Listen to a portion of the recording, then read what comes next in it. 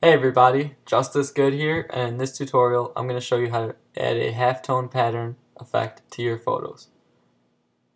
So as you can see, this is an example I've made with this photo here, and I'm going to go ahead and recreate all these steps. And it's pretty simple.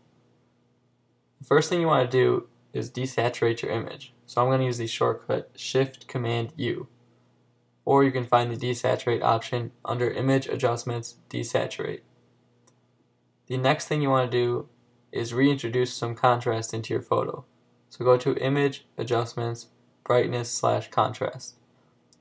I'm going to turn the brightness up a bit and the contrast up a fairly large amount. You can do this to your liking.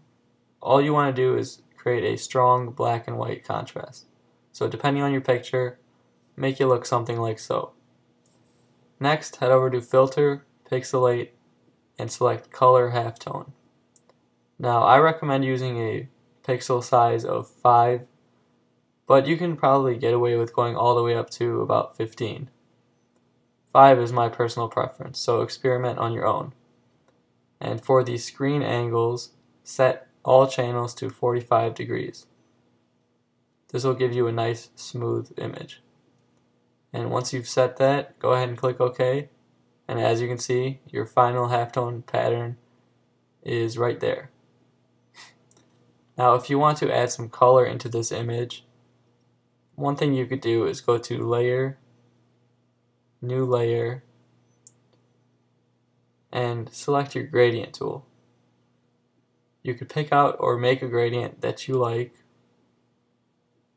I'm going to use this default one here. And go ahead and Spread the gradient out however you'd like. Set the blending mode of that layer to multiply and lower the opacity a bit. And that adds a nice tint of color if you wanted. Or you could also use hard light, you know, lower the opacity. Pretty much experiment however you like.